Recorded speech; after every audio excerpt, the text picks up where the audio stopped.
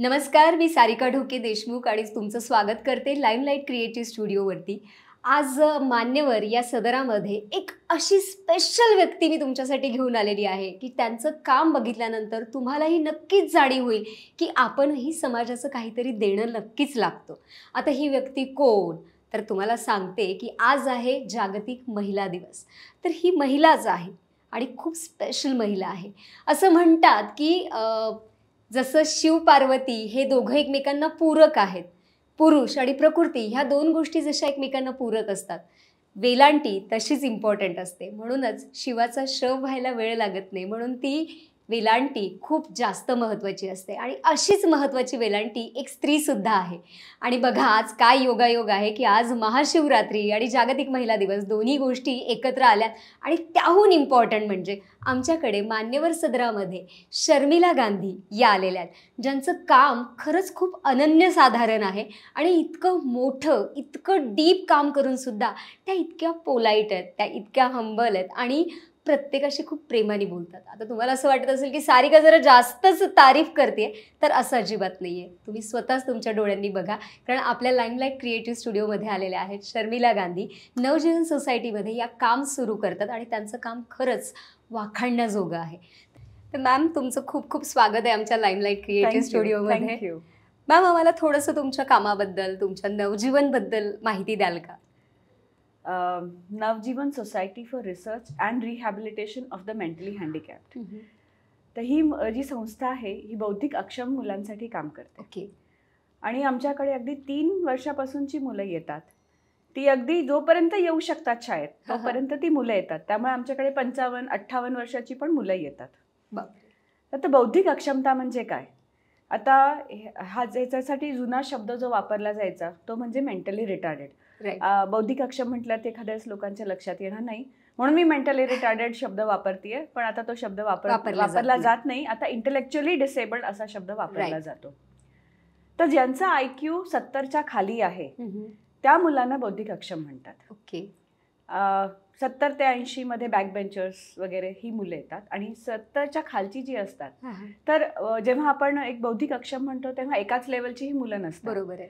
तर ह्याच्यात त्यांचा आय क्यू अगदी म्हणजे झिरो टू सेवन्टीच्या मध्ये त्यांचे चार भाग केले जातात आणि त्याप्रमाणे वी डिसाईड की ह्याची बौद्धिक पातळी किती आहे आणि मग त्यांच्यावरती काम केलं जातं तर आता जेव्हा मूल आमच्याकडे येतं म्हणजे डायग्नोज होतं डॉक्टर. सांगतात पालकांना की मूल तुमचं मतिमंद आहे.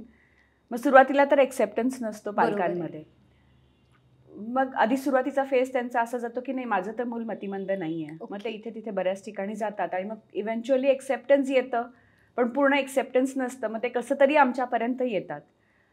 आमच्याकडे क्लिनिकल सायकोलॉजिस्ट आहेत. ओके. डॉक्टर मोनिका मुळे म्हणून. मग ते त्यांचा आय क्यू काढतात. आणि एक जवळजवळ हजार प्रश्नांची चेकलिस्ट असते. ओके. तर जे आमचे स्पेशल एज्युकेटर्स असतात आणि क्लिनिकल सायकोलॉजिस्ट हे दोघं मिळून ते पूर्ण चेकलिस्ट आणि त्या टेस्ट वेगवेगळ्या टेस्ट असतात त्या सगळ्या टेस्ट करतात आणि ठरवतात की हे मूल मतिमंद आहे की नाही. म्हणजे जर ते मतिमंद. असेल तर ते आमच्या आमच्या शाळेतलं. मूल. नाहीतर मग त्याला नॉर्मल स्कूलमध्ये पाठवलं. जातं. म्हणजे असं अजिबात नाहीये की मूल आलं आणि त्याला मतिमंद किंवा गतिमंद म्हणून तुम्ही घोषित केलं असं मुळीच होत नाही, पूर्ण त्याचं अनालिसिस. होतं पूर्ण टेस्ट होतात राईट आणि मग ठरवलं जातं. आणि मग ह्याच्यानंतरचा सगळ्यात मोठा पार्ट असतो तो म्हणजे पेरेंट काउन्सिलिंग राईट कारण खूप शॉकमध्ये असतात पेरेंट. एक्सेप्टन्स पेरेंट्सना शक्य नसतं. खूप अवघड जातं एक्सेप्ट करणं. पेरेंट्सना की आपलं मूल मतिमंद आहे म्हणून. आणि मग त्याच्यानंतर त्या मुलाची असेसमेंट झाल्यानंतर ठरवलं जातं की ह्या मुलाला आधी काय शिकवलं पाहिजे. हे असेसमेंटमध्ये म्हणजे आधी बघितलं जातं की त्याला काय काय येतं. जशा नॉर्मल स्कूलमध्ये पायऱ्या असतात पहिली दुसरी तशा आपल्या स्कूलमध्ये आपल्याकडे तशा पायऱ्या नसतात ओके आता जेव्हा ही चेकलिस्ट बघितली जाते हा, तेव्हा हा. त्या मुलाला काय काय येतंय हे बघितलं जातं म्हणजे. माइलस्टोन्स असतात जसं. नॉर्मल मुलांमध्ये माइलस्टोन्स आपण म्हणतो की इतक्या महिन्याचं झालं की ह्यांनी मान धरली पाहिजे. इतक्याला उठून बसला पाहिजे पालथं पडलं पाहिजे हे जे हो. माइलस्टोन्स असतात तर ह्या मुलांमध्ये जनरली हे सगळे माइलस्टोन्स डिलेड असतात उशिरा उशिरा. होतात मग आता हा कुठल्या लेवलला मुलगा आहे आणि ह्याला आता काय प्रायोरिटी आहे? ह्याला काय आधी शिकवलं गेलं पाहिजे? असं ठरवून असं बघितलं जातं मग त्याचं एक इंडिव्हिज्युअल एज्युकेशन प्रोग्राम अशी एक फाईल बनते त्याची. आय ई पी म्हणतो आम्ही त्याला. आणि प्रत्येक मुलाची फाईल बनते आणि मग त्याप्रमाणे त्याच्यावरती काम होतं. त्यांचे गोल्स सेट केले जातात. मग monthly goal quarterly goals yearly goals असे सेट होतात. आणि ते इव्हॅल्युएशन होत राहतं आणि त्यात प्रोग्राममध्ये काही बदल करायचा आहे का? असं बघून त्याच्यावरती काम सुरू होतं. क्या बात आहे. म्हणजे तीन वर्षाचं मूल येतं तेव्हा अगदी बऱ्याच गोष्टी त्याला शिकवायच्या असतात. Speech therapy. Occupational therapy physiotherapy ह्या सगळ्या थेरपीज त्याला दिल्या जातात आणि हे अर्ली इंटरव्हेन्शन सेंटर म्हणून आम्ही एक चालवतो. तर थ्री टू सिक्समध्ये ही मुलं अर्ली इंटरव्हेन्शन सेंटरमध्ये येतात पालकांसोबत येतात आणि ह्या सगळ्या थेरपीज देऊन त्यांचे लेवल वाढव म्हणजे त्यांना वर आणलं जातं थोडं. राईट. म्हणजे जसं नॉर्मल मुलामध्ये आपण म्हणतो ना की तुम्ही झिरो टू सिक्समध्ये त्यांना मॅक्झिमम एक्सपोजर द्या. की ते एक स्पॉन्ज सारखं सगळं ॲब्झॉर्ब करतात. हां? तुम्ही जितकं त्यांना शिकवाल त्या एजमध्ये शिकवाल तितकी त्यांची लर्निंग कपॅसिटी वाढणार आहे. राईट हां? आय क्यू जो असतो तो तर कधीच आयुष्यात कुणाचाही बदलत नसतो. पण ही कपॅसिटी वाढवणं हा उद्देश आपण ते झिरो टू सिक्समध्ये आपण मुलांना शिकवतो. तसंच ह्या मुलांना सुद्धा जितक्या लवकर तुम्ही इंटरव्हेन्शन द्याल तर तितके तुम्ही त्यांचं पोटेन्शियल वाढवाल ओ शिकायचं. Okay. So that benefits the child afterwards असं. पण मग तुमच्याकडे जेवढे स्टुडंट्स जेवढे मुलं येत असतील. तेवढे चॅलेंजेस येत असतील. प्रत्येक त्यांच्या मुलाचा फॅमिली फॅमिलीनुसार चॅलेंज चेंज होत असेल. फॅमिलीनुसार चॅलेंजेस वेगळे. Every child every child is different प्रत्येक. मुलाला म्हणजे सुरुवातीला तर सिक्स सहा वर्षाचे झाले की ही मुलं शाळेत येतात. म्हणजे सहा. ते अठरा हा त्यांचा शाळेतला शाळेचा पिरियड असतो. हा तर ह्या ह्याच्यामध्ये त्यांना पहिली दुसरी सारखे वर्ग नसतात. पण त्यांच्या एज आणि आयक्यू प्रमाणे त्यांचे वर्ग केले जातात अच्छा मग त्याच्यामध्ये आपलं प्री प्रायमरी असतं प्रायमरी असतं प्री वोकेशनल वोकेशनल ग्रुप. असं ते डिवाइड होतात मुलं प्रत्येक मुलाला मग ह्या मुलाला खाता येत नाहीये का? मग त्याला खाणं शिकवा. ओ, मग अगदी सुरुवातीला त्याला घरून रोल मागवले जातात. कारण त्याला चपाती आणि भाजी खाय खाता येत नाही. मग ते रोल आधी त्याला खायला शिकवतात. कारण त्याला चावायला पण शिकवायचे तुम्हाला. ओ मग ते ग्रॅज्युअली हळूहळू म्हणजे हे इंडिव्हिज्युअली प्रत्ये टीचरला प्रत्येकाला शिकवावं लागतं. आणि मग ते हळूहळू खायला शिकतात. मग कपडे कसे घालायचे? ग्रुमिंग कसं करायचं? टॉयलेट ट्रेनिंग दिली जाते. मग नंतर स्वतःचं नाव काय? माझ्या वर्गातल्या मित्रांचं नाव काय? माझी बॅग कुठली आहे?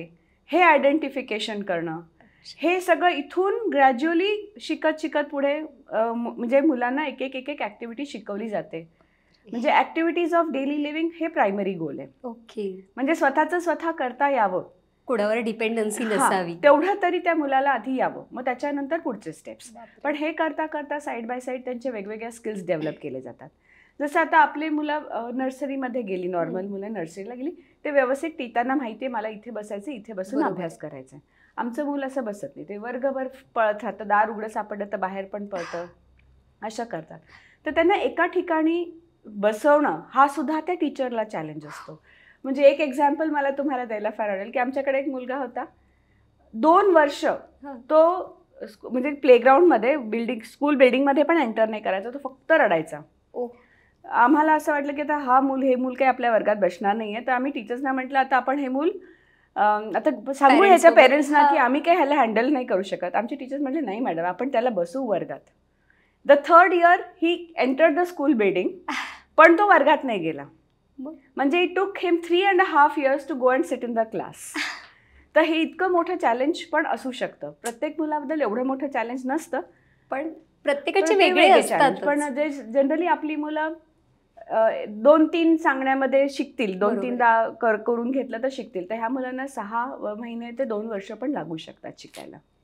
तुम्हाला मेंटली किती स्टेबल राहावं लागत असेल? तुमची सगळी टीम तुमचा सगळा स्टाफ ते स्वतःला कसे मॅनेज करतात या सगळ्या सिच्युएशनमध्ये? फॉर्च्युनेटली आपल्याकडे स्टाफ खूप चांगला आहे. म्हणजे एक नोकरी म्हणून ते काम करत नाहीत. ते आपलं म्हणून करतात. तुम्हाला. अगदी सांगायला आवडेल की लॉकडाऊन जेव्हा झाला तेव्हा मुलं घरी राहायला तयार नव्हती. म्हणजे त्यांना शाळा इतकी आवडते. आणि मग ते पालकांना त्रास द्यायचे की आम्हाला बाईंना भेटायचं आम्हाला बाईंना भेटायचंय. मग शेवटी पालकांनी बाई त्यांच्या टीचरशी त्यांचा फोनवरती व्हिडिओ कॉल वगैरे करून दिला की मग ती मुलं शांत व्हायची. गोड. आणि मग शेवटी असं ठरवलं की आपण ऑनलाईन क्लासेस सुरू करू. म्हणून ज्या मुलांमध्ये कपॅसिटी आहे ऑनलाईन यायची तर मग आमचे टीचर्स रोज त्यांना एक ते दीड तास काहीतरी ऑनलाईन दाखवून ऍक्टिव्हिटी करून घ्यायचे. पण त्यामुळे ती घरी मुलं मॅनेजेबल राहिली हे डेडिकेशन हॅट्स ऑफ आहे या डेडिकेशनला कारण हो, खरं. घरात नॉर्मल मुलं पण जेव्हा आपल्याला त्रास देतात त्यांना. दोन वेळा सांगून ते ऐकत नाही तेव्हा पॅरेंट्सची चिडचिड होते. हो. पण हे स्पेशल चाइल्ड सांभाळणं हे काहीतरी वेगळ्याच लेवलचं काम करतायत तुम्ही सगळेजण. हो, खरंच. तर मॅम मला असं विचारायचं की तुम्ही या मुलांकडे वळल्या कशा? कुठून सुरुवात झाली ती? ऍक्च्युली नवजीवन जी संस्था आहे. ही माझ्या सासरच्या लोकांनी सुरू केली अच्छा. म्हणजे माझे एक दीर आहेत मोठे ते मतिमंद आहेत. ओके. तर इन नाईन्टीन फिफ्टी फाईव्हच्या सुमारास नाही सॉरी नाईन्टीन सिक्स्टी थ्री मध्ये त्यावेळेस औरंगाबादमध्ये काहीच नव्हतं. हो. मग त्यांना मुंबईला सगळे ट्रीटमेंटसाठी घेऊन जायचे आणि बरेच problems obviously it's not easy दरवेळेस मुंबईला घेऊन जा. करा. आणि मग ही मुलं जेव्हा ॲडोलसन एजमध्ये येतात तेव्हा बऱ्याचदा व्हायलंट होतात. राईट? आणि त्यांना मॅनेज कसं करावं त्या एजपर्यंत हे सायंटिफिकली असं माहीत नव्हतं घरी कुणाला. त्यामुळे obviously he was very pampered आणि मग ते त्या ॲडोलसंट एजमध्ये आलं ते खूप व्हायलंट होऊ लागले आणि घरी मॅनेज करणं खूप अवघड झालं. मग त्यांना मुंबईच्या हॉस्टेलमध्ये ठेवलं. पण तिथे ते डिटिरिओरेट झाले म्हणजे त्यांचं बोलणंच बंद झालं. तर मग त्यांना परत घेऊन आले इथे. आणि मग माझ्या सासऱ्यांनी म्हणजे सासरे हे स्वतः खूप मोठे सोशल वर्कर होते. मग त्यांनी माझ्या आते सासूबाईंना सुचवलं की आपणच का नाही इथे शाळा सुरू. करायची? त्या होली क्रॉसमध्ये स्वतः टीचर होते आणि he she was close to retirement at that time. आणि रिटायर व्हायच्या आधीच त्यांनी नवजीवन संस्था. स्थापन केली आणि ही शाळा सुरू झाली. अठरा मुलांपासून सुरू झाली. ती आज आता आपल्याकडे एकशे बहात्तर मुलं आहेत. आणि the growth was of course very difficult awareness त्यावेळेस एवढा नव्हता. मदत करणारे लोक तेवढे नव्हते. त्यावेळेस. आता तर खूप हेल्प मिळते आपल्याला.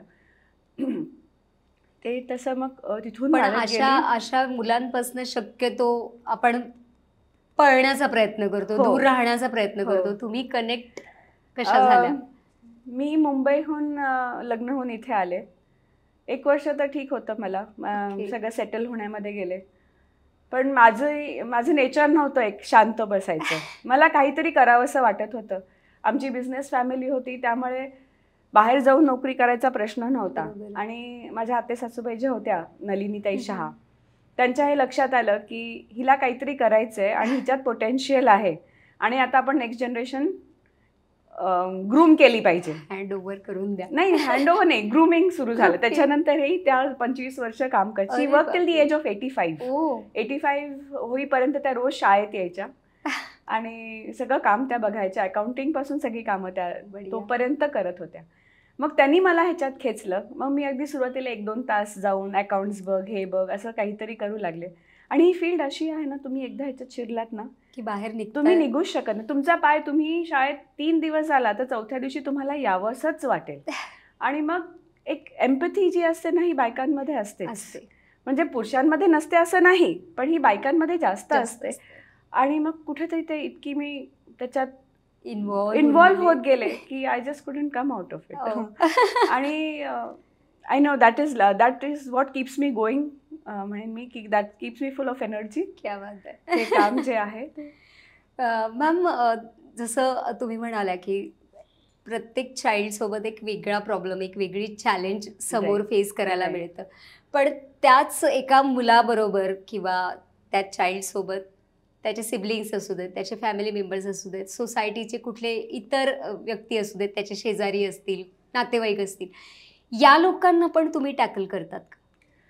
आमच्याकडे काउन्सिलरचं आणि टीचरचं हाच खूप मोठा चॅलेंज असतो. बऱ्याचदा काय होतं जेव्हा घरात एक मतिमंद मुलं असतं तर there are various ways the child is handled at home एक खूप पॅम्परिंग होतं एक खूप इग्नोर होतं किंवा मधला काहीतरी एक मार्ग पॅरेंट्स काढायचा प्रयत्न करत असतात. ह्याच्यामध्ये बऱ्याचदा सिबलिंग इग्नोर होतं. बरोबर आहे. जेव्हा पॅम्परिंग होत असतं तेव्हा आईचं पण लक्ष त्या मतिमंद मुलाकडे जास्त हो, असतं. कारण त्याला गरज जास्त गरज. जास्त असतं असते.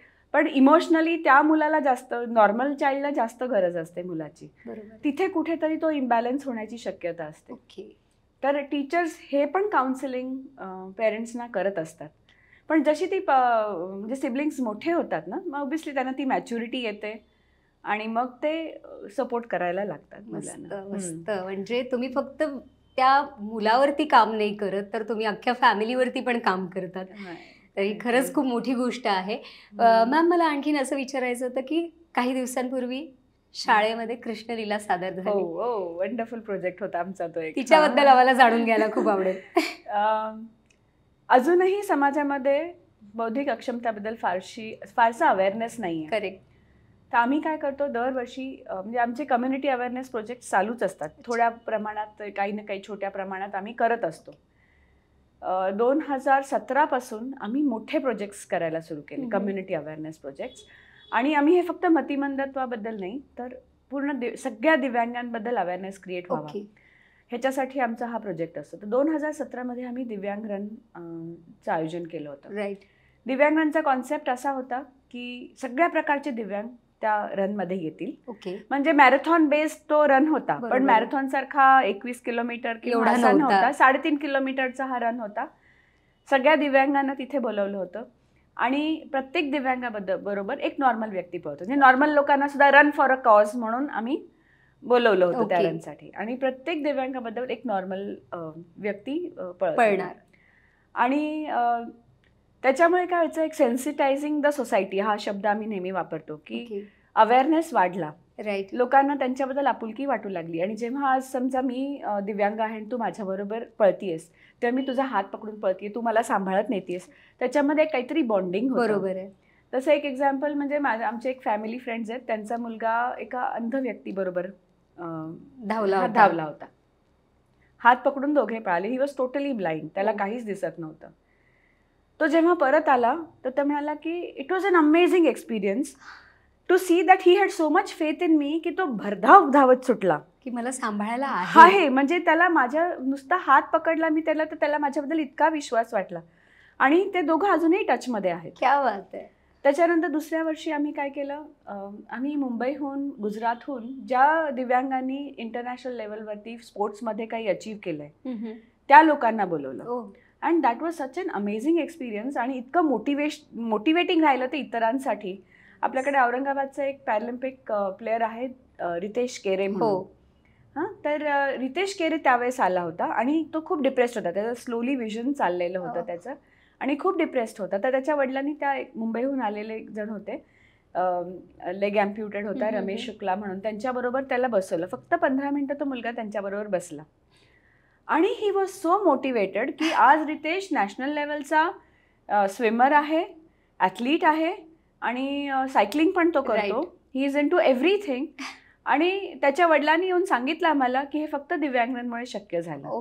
सो म्हणजे इथे आम्ही सेन्सिटायझिंग पण करू शकलो इथे आम्ही दिव्यांगांना मोटिवेट पण करू. शकलो आता हा मी तो कृष्ण लीलाकडे वळते आम्हाला फक्त ह्या वर्षी एक काहीतरी म्हणजे अपार्ट फ्रॉम दिव्यांगरन काहीतरी वेगळं करायचं. होतं तर आम्ही कृष्ण लीला करायचं ठरवलं ह्याच्या आधी दोन हजार चौदा का पंधरा साली आम्ही शि श्रीमंत योगी नावाचा कार्यक्रम केला होता. त्याच्यामध्ये आमच्या चाळीस मुलं पतिमंद मुलं ह्यांनी परफॉर्म केलं होतं. इट इज म्युझिकल ऑफकोर्स आणि त्याला खूप छान रिस्पॉन्स मिळाला होता. आणि तो म्हणजे जवळजवळ वर्षभर पी लोक त्याच्याबद्दल बोलत होते.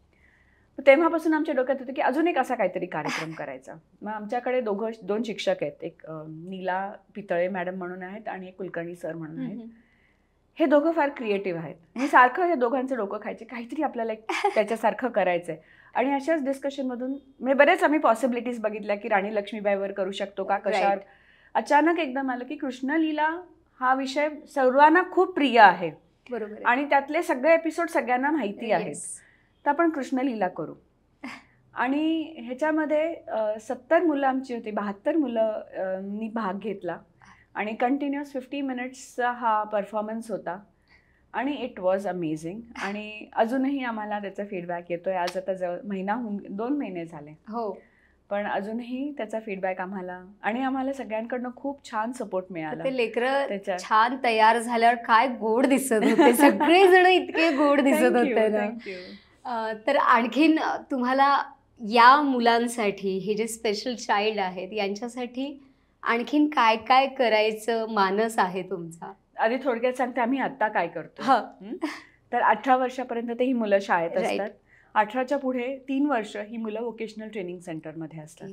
मग त्यांना बऱ्याचशा ज्या स्किल्स एका काम करण्यासाठी लागतात की एका ठिकाणी बसून काम करणं Right. की जास्त वेळ बसून म्हणजे फक्त पंधरा मिनिटं बसून तुम्ही कुठलं काम करू शकत नाही. तुम्हाला जर वोकेशनली ट्रेन व्हायचं असेल तर तुम्हाला एका ठिकाणी बसून व्यवस्थित काम करता आलं पाहिजे तुमचं कॉर्डिनेशन पाहिजे हाताचं डोळ्याचं प्रत्येक गोष्टीचं तुम्हाला कॉर्डिनेट करून तर ह्या सगळ्या स्किल्स त्यांच्या तिथे डेव्हलप होतात वोकेशनल Okay. ट्रेनिंग सेंटरमध्ये आम्ही फाईल्स बनवतो एनवेलप्स बनवतो पेपर बॅग्स बनवतो चॉकलेट्स बनवतो. ते ॲडल्ट. मुलीच्या आहेत. ह- खूप मोठी आमची ॲक्टिव्हिटी आहे मोल्डेड चॉकलेट्सची त्याच्यानंतर टेलरिंग डिपार्टमेंट आहे आमचं जिथे सोप्या गोष्टी जसे डस्टर्स आपण हो, किचन हो. डस्टर्स वापरतो ते शिवले जातात एप्रन शिवले जातात. तसे सोपे जे आहेत ते. जे आयटमला डिमांड आहे ती आम्ही मुलांकडनं करून घेतो तिथे. तर अशा ॲक्टिव्हिटीज तिथे चालतात. तीन वर्षानंतर आता आम्ही ह्या वर्षी सुरू केलं ते अर्ली शेल्टर्ड वर्कशॉप सुरू केलं ओके. ज्याच्यामध्ये ही मुलं बसून काही काम करतात आणि त्या वस्तू बाजारात विकून त्यातला प्रॉफिटचा भाग त्यांना त्यांचा वेजेस म्हणून त्यांना आम्ही देतात. देतो. ओके. तर आता हायेस्ट आमचं आत्ता पोचलं ह्या फेब्रुवारी महिन्यात. एक हजार रुपये एका मुलाला मिळाले. क्या बात म्हणजे. हा हा म्हणजे त्यांच्या पालकांना तुम्ही इमॅजिन करा किती आनंद होत असेल. काहीच अपेक्षा नसते आणि मूल एक हजारचा चे त्याच्या अकाउंटमध्ये डिपॉझिट होत आहेत. आणि त्यांना हातात पैसे पाहिजे होते तर आम्ही त्यांना चेक्स दिले. म्हणजे झेरॉक्स केला आणि फक्त असं त्याला नाव टाकून दिलं, हे. वडिलांना दे ते बँकेत डिपॉझिट करतील. काय आनंद असेल तुम्हाला सांगते. तर आता बारा मुलं आहेत सध्या आमच्या शेल्टर वर्कशॉपमध्ये आमचा मानस एवढाच आहे की हे मोठं व्हावं. आता कन्सिस्टंट ऑर्डर आमच्याकडे कशाची नसते म्हणजे ज्या महिन्यात. जास्त काम झालं त्या महिन्यात मुलांना पैसे. मिळतील पण असं काहीतरी आम्हाला इंडस्ट्रीकडनं आम्ही सगळीकडे मदत मागतोय की एक प्रोडक्ट आम्हाला सांगा जो तुम्हाला लागतो आणि आमची मुलं बनवू शकतील तर आम्ही एक प्रॉपर फॅक्टरीसारखं आपल्याला करायचं आहे आणि या शेल्टर्ड वर्कशॉपमध्ये आपण फक्त म्हणजे बौद्धिक अक्षम नाही घेत आहे फिजिकली हँडिकॅप्ड असेल व्हिज्युअली इम्पॅर्ड असतील हिअरिंग इम्पॅर्ड असेल आपण सगळ्यांचं सगळ्यांसाठी सगळ्यांसाठी ओपन ठेवते पण. सुरुवातीला ऑब्व्हियसली पैसे फार मिळणार नाहीत. जसं ते वाढत जाईल तसे ते तसे ते मग काम वाढत जाईल तसे त्याचे पैसे मिळत जातील. तर हा व्हिडिओ बघणाऱ्या सगळ्यांनाच मला असं अपील करावं वाटतंय की आत्ता मॅम जे बोलल्या की त्यांच्याकडे कन्सिस्टन्सी ऑर्डरची नाही आहे तर तुमच्यापैकी जर कोणी इंटरेस्टेड असेल तर नक्कीच कमेंट करून आम्हाला सांगत राहा. तशा गप्पा तर आणखीन सुरूच आहेत. मॅम समाजाकडनं तुम्ही काय अपेक्षा ठेवता या मुलांसाठी? समाजाकडनं हीच अपेक्षा आहे की ह्यांचा स्वीकार करा. बऱ्याचदा काय होतं आपण म्हणजे ज्यांना मतिमंदत्वाबद्दल माहिती नाही किंवा माहीत जरी असेल तरी ह्या मुलांपासून लांब पळतात. बरोबर आहे. हां? किंवा बऱ्याचदा माझं मूल मतिमंद आहे तर मला किटीमध्ये सुद्धा बऱ्याचदा बोलवलं जात नाही. असंही होतं की हिच्या घरी गेलं तर हिचं मतिमंद मूल घरी असेल. बरोबर आहे. तर असंही होतं किंवा हिची मेंटल स्टेबिलिटी नाही आहे तिचं मूल मतिमंद आहे हिची पण मेंटल स्टेबिलिटी नाही आहे तर असं इग्नोर केलं जातं. पॅ- म्हणजे अख्ख्या फॅमिलीला ते सहन करावं लागतं एक मतिमंद मुलं असल्यावर. जातं सगळंच ते. आणि ह्या मुलांना मेन म्हणजे ह्या मुलांना एक्सेप्ट करायला शिका. ही मुलं पण काही करू शकतात. यांना म्हणजे ही बुद्ध बौद्ध्यांक कमी आहे बुद्ध्यांक कमी आहे आपल्यापेक्षा कमी बुद्धी आहे यांच्याकडे. पण ही मुलं काहीतरी करू शकतात. आणि त्यांना आपण सपोर्ट केला पाहिजे आणि त्यांचा स्वीकार केला पाहिजे. क्या बात आहे. नक्कीच तुमच्या ह्या गोष्टी ऐकल्यानंतर लोक थोडंफार बघण्याचा दृष्टिकोन तरी चेंज करतील अशी अपेक्षा आहे. नक्कीच समाजाचा दृष्टिकोन बदलेल अशी अपेक्षा करते. मॅम जसं तुम्ही सांगितलं की ट्रेनिंग दिल्या जाते मुलांना काही गोष्टी शिकवल्या जातात पण त्याच्या व्यतिरिक्त आणखीन काय काय ॲक्टिव्हिटीज होतात? आम्ही आता एक स्पोर्ट्स टीचर अपॉइंट केला आहे म्हणजे बऱ्याच पॅरालिम्पिकमध्ये आपण बघतो की आता बरेच मुलं चा इंडियातले चाललेले आहेत. पुढे गेलेत ह्यावेळेस ह्यावर्षी एकशे अकरा मेडल्स का एकशे अकराहूनही जास्त. मेडल्स आपल्या पॅरालिम्पिक्समध्ये इंडियन टीमने. आणले होते तर हे आपणही औरंगाबादमध्ये सुद्धा तयार झाले पाहिजेत या ह्याच्यानी आम्ही एक स्पोर्ट्स टीचर अपॉइंट केला आहे त्यांची त्यांनी आयडेंटिफाय केलेत एक पंधरा मुलं. ज्यांच्यामध्ये कपॅसिटी आहे की स्पोर्ट्समध्ये पुढे जातील. आणि त्यांचं ट्रेनिंग आम्ही सुरू केलं आहे आता त्या व्यतिरिक्त एक म्युझिक थेरपी टीचर आम्ही अपॉइंट केली आहे म्युझिकला ही मुलं फार छान रिस्पॉन्स देतात. म्हणजे कितीही सिव्हिअर मतिमंद असेल तरी म्युझिक जेव्हा वाजायला लागतं तेव्हा ते तेव्हा तो कमीत कमी असा असं का होईना. एवढं तरी तो मान हलवेल भले तो गाणार नाही किंवा काही नाही. पण तो जो लय ती जी पकडतो पकडतो. ती. म्हणजे it is surprising to see की बीट्स बरोबर पकडलेत. त्यांनी? आणि आमच्याकडे फिजिओथेरपी सेंटर चालतं. Okay. ज्या ज्या मुलांना फिजिओथेरपीची गरज आहे तर फिजिओथेरपी दिली जाते. नंतर अं, मूल मतिमंद आहे म्हटलं ती पालकांना समजत नाही कसं हँडल करायचं. तर आमच्याकडे पेरेंट्स ट्रेनिंग प्रोग्राम चालतात. तर त्याशिवाय केअरटेकर्स ट्रेनिंग प्रोग्राम चालतो. म्हणजे जी मुलं लोक सांभाळणार आहेत ही मुलांना. त्या मुल लोकांना हे मूल कसं सांभाळावं कसं हाताळावं ते शिकवलं जातं. त्याशिवाय आम्ही इग्नोयू म्हणजे इंदिरा गांधी ओपन युनिव्हर्सिटी जी आहे त्यांचा एक फाउंडेशन कोर्स होता ज्याच्यामध्ये नॉर्मल स्कूलचे जे टीचर्स आहेत त्यांना ट्रेनिंग दिलं जायचं की तुमच्या वर्गात जर एखादं दिव्यांग मूल आलं तर. त्याला कसं हाताळायचं सो हा तीन महिन्याचा सर्टिफिकेट कोर्स होता आणि सातशे टीचर्स आपल्याकडे ट्रेनिंग घेऊन गेले फार छान प्र- हा कोर्स चालला होता पण फॉर सम रिझन तो कोर्स इग्नोयुनीस बंद केला. अच्छा. त्याच्यानंतर बऱ्याच सगळ्या म्हणजे सगळ्या जे मेडिकल कॉलेजेस आहेत किंवा एम एस डब्ल्यू कॉलेजेस आहेत ह्या नर्सिंग कॉलेजेस आहेत मेडिकल कॉलेजेस ह्यांची मुलं आपल्याकडे व्हिजिटला येतात टू. अंडरस्टँड की पेशंटला कसं इंटेलेक्च्युअल. डिसेबिलिटी समजायला ते लोक येतात. अच्छा. आणि आपले टीचर्स त्यांना पूर्ण गायडन्स देतात. त्यांची एक जवळजवळ अर्ध्या दिवसाची टूर असते. आणि दुसऱ्या शाळेचे लोक पण येतात आपल्याकडे. म्हणजे जे मराठवाड्यातली आपली पहिली शाळा होती. हो. त्यामुळे आता ज्या नव्या नव्याने सुरू झाल्या सुरू झालेल्या शाळा आहेत त्या आपल्याकडे माहिती घ्यायला येतात की. कसं काय करावं म्हणून पुढे कसं. जावं. हेही केलं जातं. पण अशा वेळेला तुम्हाला कॉम्पिटिशन नाही वाटत की आमच्या शाळेमधून आम्ही त्यांना ट्रेन करून मग ते पुन्हा दुसरी संस्था सुरू मतिमंद पॉप्युलेशनचे दोन टक्के मतिमंद असतात. जितक्या शाळा निघतील तितक्या कमी पडणार आहेत. त्यामुळे we. Have to create the manpower to handle these people त्यामुळे जितकी तयार होतील आम्हाला कॉम्पिटिशन नाहीच आहे. जितके तयार होतील तितके आम्हाला तयार त्या. मुलांना सांभाळायचंय सांभाळ- त्यांना तयार करायचं ती म्हणजे सगळ्या सगळ्यांपर्यंत ही सेवा सगळ्या मतिमंदांपर्यंत ही सेवा पोचावी. किती गुड हा त्यामुळे कॉम्पिटिशन हा प्रश्नच येत नाही इनफॅक्ट कोणी आम्हाला काही सपोर्ट मागायला आलं तर we never look never think twice. Before Great. Help to them ma'am तसं तर वाचण्यात वगैरे सगळ्यांच्याच ऑलमोस्ट आलेलं असेल पण inclusion बद्दल तुम्ही आम्हाला काही सांगाल का? कारण हा शब्द बऱ्याच लोकांसाठी जरा वेगळा. ठरतोय आता इन्क्लुजन म्हटलं तर ह्या मुलांना जर नॉर्मल शाळेत पाठवायचं तर मेन अडचण ही असते की नॉर्मल मुलं ह्यांना एक्सेप्ट करणं हा सगळ्यात मोठा. चॅलेंज असतो तर आमच्याकडे आम्ही इंटिग्रेशन प्रोग्राम्स ठेवतो म्हणजे आम्ही बाहेरच्या शाळांना इन्व्हाइट करतो. आमच्या शाळेत आणि ह्या मुलांचं आमच्या मुलांचं आणि त्या मुलांचं इंटरॅक्शन ठेवतो जसं रक्षाबंधनला ती मुलं येतात. ती आलेली मुलं मुली ज्या असतात त्या आमच्या मुलांना राख्या बांधतात आमच्या मुली त्या मुलांना राख्या. बांधतात आणि मग ते ती मुलं इतकी मोटिवेट होतात ना की मग ते काहीतरी परफॉर्मन्स देतात ह्या मुलांना एंटरटेन. करायला. आणि आमची मुलं तर म्युझिकला रिस्पॉन्ड करतात मग सगळे मिळून नाचतात. सो आणि ते खूप इमोशनल पण होतात. नॉर्मल स्कूलची जी मुलं असतात आणि ते घरी जाऊन त्यांचे म्हणजे काही काही आता माझ्याच मैत्रिणींची मुलं पण कुठल्या तरी शाळेतनं व्हिजिट करतात वगैरे. तर त्यांचा फीडबॅक खूप छान असतो की they were very touched by after seeing this children ती सेन्सिटिव्हिटी आली तरी खूप आम्ही अचीव्ह केलं आणि हे लहान. वयातच जेवढ्या लवकर होईल त्यांना ती. सेन्सिटिव्हिटीची जाणीव होईल तेवढं. ते पुढे चांगलं माणूस माणूस आणि एक सांगू का ही जी जनरेशन आहे ना आताची ही फार वेगळी आहे म्हणजे आमच्या वेळेस मला वाटत नाही आम्हाला एवढं अवेअरनेस होता may be this is because of internet और सोशल मीडिया. पण ह्या लोकांना सगळी माहिती आहे आणि given an opportunity you can create that empathy in them Right. म्हणजे they say that empathy is always there in every one पण ती तुम्हाला बाहेर काढावी लागते. काही जणांची इझिली निघते पण यू कॅन काही दॅट एम्पथी असं Right. म्हणतात. हा.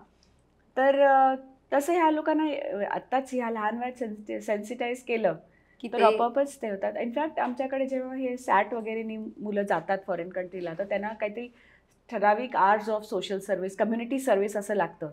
तेव्हा ती मुलं आमच्याकडे येतात. की आम्हाला सर्टिफिकेट द्या. अच्छा. तर आधी आम्ही असेच सर्टिफिकेट दिले काही वर्ष पण आता आम्ही एक सिलेबस केला आहे त्यांचा पण.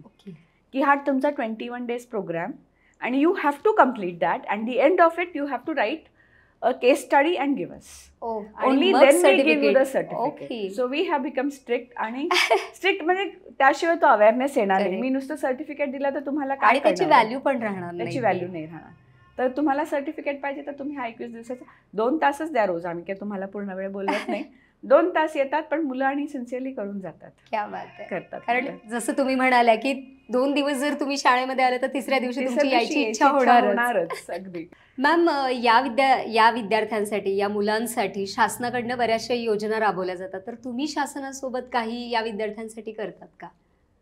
शासनाकडनं ह्या विद्यार्थ्यांना महिन एका महिन्याचे असे अडीच अडीच हजार रुपये अडीच ते तीन हजार रुपये असे मानधन दिलं जातं. ओके. पण ह्याच्यासाठी बरंच पेपर वर्क असतं. तर आमच्याकडे सोशल वर्कर आहे एक.